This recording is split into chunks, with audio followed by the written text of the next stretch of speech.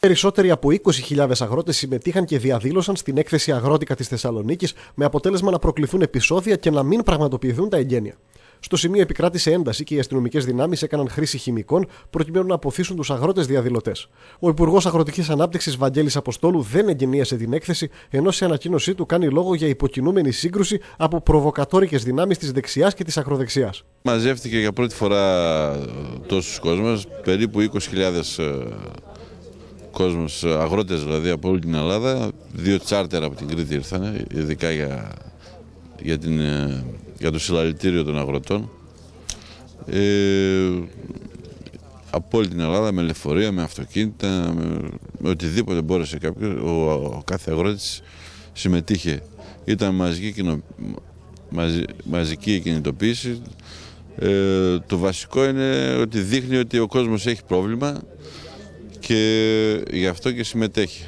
Από την πλευρά του, ο πρόεδρος του Αγροτικού Συλλόγου Σουφλίου, Θανάσης Μαλτεπιώτη, τονίζει ότι τα επεισόδια έγιναν προκειμένου τόσο η κυβέρνηση όσο και τα υπόλοιπα κόμματα να πάρουν άμεσα θέση επί του αγροτικού ζητήματος, καθώς η αγανάκτησή τους έχει ξεπεράσει τα όρια. Πιστεύουμε ότι η κυβέρνηση θα. και όχι μόνο η κυβέρνηση και όλα τα κόμματα, γιατί δεν, υπάρχει, δεν είναι μόνο πιστεύω θέμα κυβέρνησης, είναι και όλα τα κόμματα πρέπει να πάρουν θέση όλα τα κόμματα. Το Αυτό επιμένω.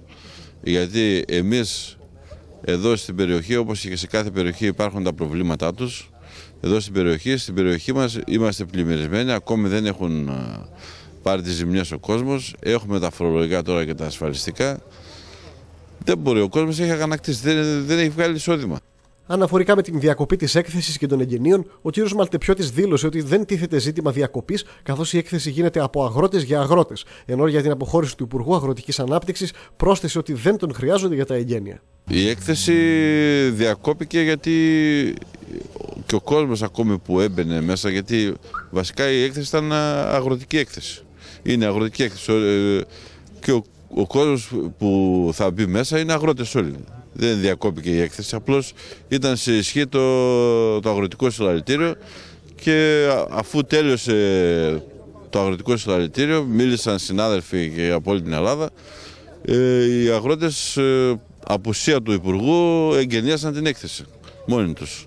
Γιατί η έκθεση είναι δικιά μας, τη θεωρούμε δικιά μας την έκθεση.